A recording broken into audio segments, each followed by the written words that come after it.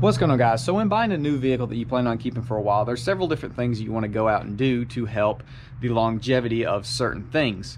A lot of people go out and get ceramic coat or a clear wrap put on, which we have an appointment scheduled to get something done to the truck. It's going to be like a month, unfortunately, but that'll be in a future video.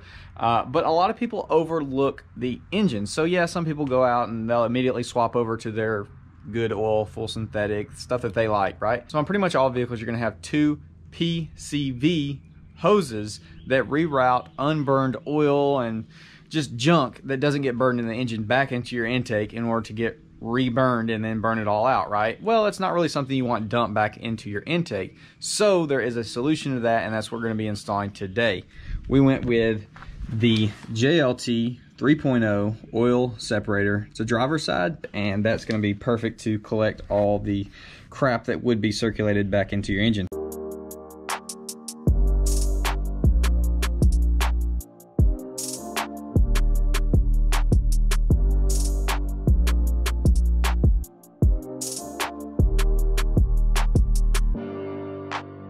So this right here, work on 19 to 21, 5.3s and 6.2s, which we'll do a quick look. This is a 6.2 truck. Essentially, you're not gonna notice any difference from the 5.3 except right here on the airbox. It does say 6.2 right there, but as far as like looking at them side by side, I, I, don't think you really can tell much of a difference. JLT card, we got some instructions. And this should be a super, super easy install. I would assume there's our kit so show y'all and you're gonna basically just check this whenever you check your oil i mean you can check it more often if you want but I've had these on several Mustangs and they've worked very good. It's essentially just gonna collect all the moisture and unburned oils and crap and it's just gonna put it in here and then you just empty it out and that way it doesn't get circulated back into your engine for it to build up gunk and all that kind of crap. So these things are super helpful if you do plan on keeping your truck your vehicle, car, truck, whatever, for an extended period of time. If you're gonna, you know, keep your truck for a year and then sell it, probably not something to worry about. Let the next guy worry about it. But um, this is a pretty inexpensive way to just kind of help ensure your vehicle is gonna not have any of that crap built up. There is our mounting hardware.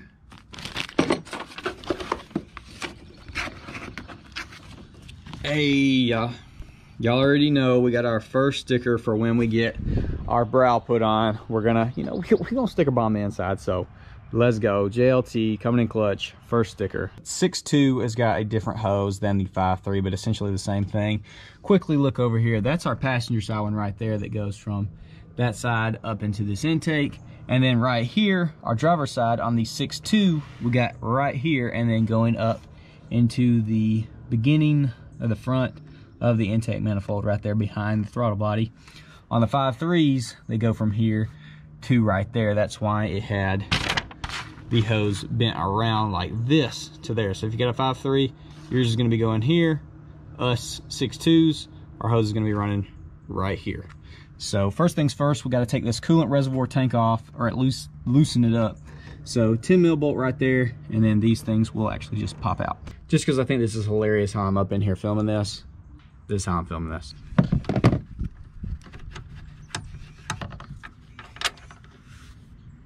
Not unscrew that cat like it tried to spin. That would not be good because I just drove this thing. All right, popped her loose. Now we can mount our bracket up. Before we do that though, let's go ahead and remove the stock PCV hose. Always want to say PVC. So right here, your little gray tab, push it and it will slide off can be a little bit tight but once you do the top one you can rotate it a little bit. Get your finger in there and out she comes. Tiny little bitty guy. Go ahead and get our mount hooked up. I don't really know why they double brand it. I guess if you want to make your own like custom mount you could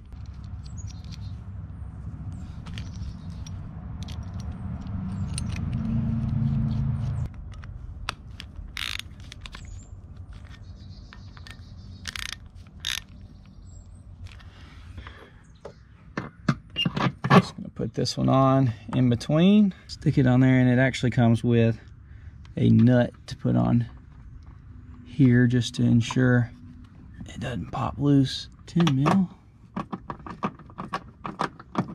We're gonna go ahead and throw it in our lower coolant bolt. And now we can go ahead and attach these guys. Obviously your shorter one. It's going straight down. Listen for the audible click. That one's locked on. And obviously this guy running underneath our intake. Right here. Listen for the click. There we go. And just like that, our JLT 3.0 oil separator is completely installed.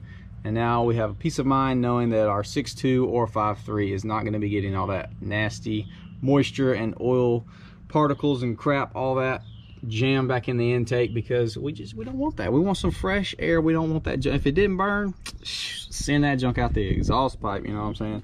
I don't know about y'all, but I think this thing needs a big old fat cold air intake in here pronto. Like, we need that sound. We need that performance. We got our oil separator going it's time to dress this thing up and get it sounding right. Super, super easy install, but it is one of those things that is really good to do to your new vehicle or even not your new vehicle, just something that you plan on keeping for a long time, maybe your entire life, who knows. Get you an oil separator. It's gonna keep all that crap out of the engine and it's just good for the engine. It's just healthy. It's gonna thank you. It's fairly inexpensive and these things do work. Obviously, we'll have updates. It says every 10,000 miles to check it. I just do it every oil change. I've had these on several 5.0 Mustangs in the past. They always collect stuff. It's disgusting, some of the things that come out of your engine. You know, it's good to catch it so it doesn't get cycled back in there. So we'll definitely do an update when I do my oil change or in 5,000 miles or whatever the case. So be sure to subscribe to see what kind of junk comes out of the 6.2 because y'all know we do be romping on this thing and I'm sure some stuff gets bypassed and uh, we're gonna catch it now. So that is it for this install. Hopefully y'all did enjoy. We got the muffler delete done. We got the oil separator on. All right guys, so that's about gonna do it for this video. Hopefully y'all did enjoy. Many, many more parts coming to the Trail Boss in the very near future. We're doing the slow and steady modifying the truck like I did with Baby Squad. I don't want to do the whole like buy all the parts, which I've got a lot of parts, and install them in one video. I just, you know, it's cool. It looks flashy, but I like the slow and steady, like let's install them part by part and just watch the truck progress to what it's going to become. And let me tell you, it's going to be freaking awesome. So as of right now, we got the muffler delete and now we got the JLT oil separator.